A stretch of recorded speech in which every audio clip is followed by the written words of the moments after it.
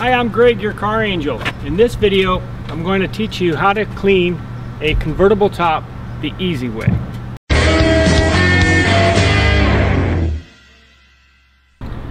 So I'm at a car wash and a car wash is actually the perfect place to do this. And the reason is because you have everything here and it makes it very easy. You can do everything out of your driveway, of course, but why would you if you have everything you need right here? Now the procedure for washing the convertible top is identical whether you have a fabric top, which is what this is, or you have a vinyl. The only difference between those two is in the very last step. So I'll show you how that will go. Now the first thing you want to do is just brush the surface off and get any obvious uh, dirt that is on the surface. And you have to use a soft brush and I'll be using uh, a couple of brushes for this. The first thing is just to make sure you get all the obvious dirt off. Now it's time to vacuum the top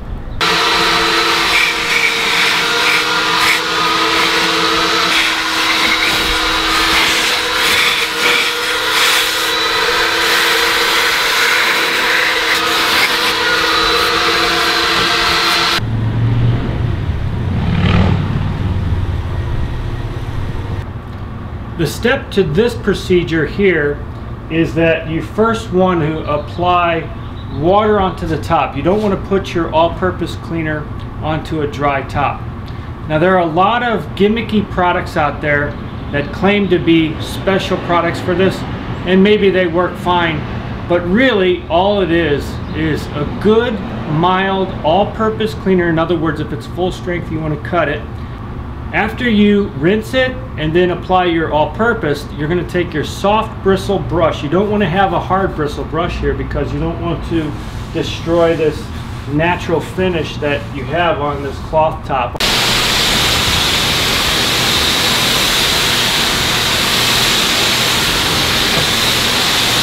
After I sprayed the top with water only, now it's time to take the all-purpose and spray the top.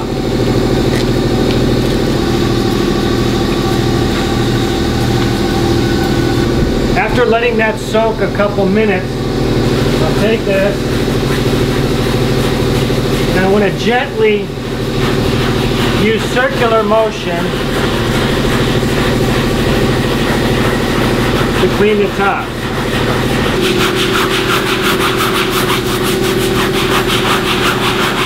after scrubbing the top, I'm going to take my rinser. Now, keep in mind, I don't want to get too close with this because this is a power sprayer. You can do this with a garden hose, but keep away from a high pressure power sprayer. This is not particularly high pressure and it's not an orbital unit. And you'll see all you really need to do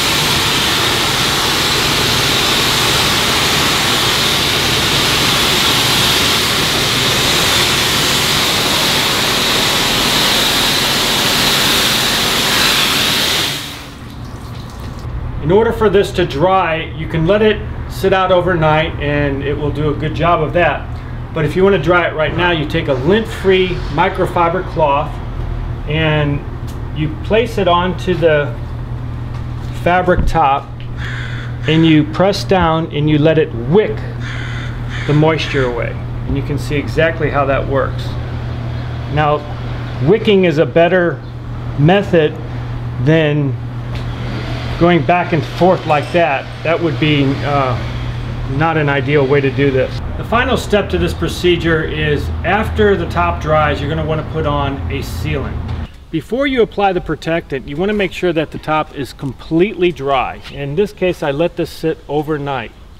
Now, this is a canvas top, and I'm going to be using a product made by Sunbrella, which is 303, and that's an excellent water-resistant protectant. If you have a vinyl top, you want to be using Trim Shine made by Stoner. The instructions on the 303 here uh, warns you of getting any overspray on plastic, vinyl, or rubber trim. And that's why I have this other rag in my hand, just because if I do have a little bit of overspray, I can wipe it very quickly. Now when you do the application, you want to use overlapping strokes. So you want to, I have a little bit of wind today, but you're applying it so that it's noticeably wet. And I'm going to make sure that I take any excess spray off right away as per the directions of the 303. I'm just going to keep on doing that.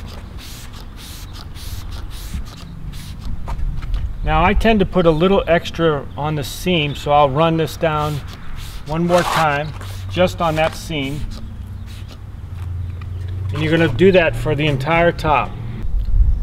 That's going to need 6 to 12 hours of drying time and in that time you have to make sure that there's no moisture that's possible that's going to get on that surface.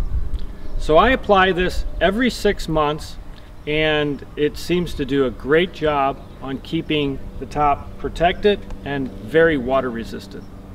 I'm Greg, your car angel. Thanks for watching. I'll see you in the next video. Take care.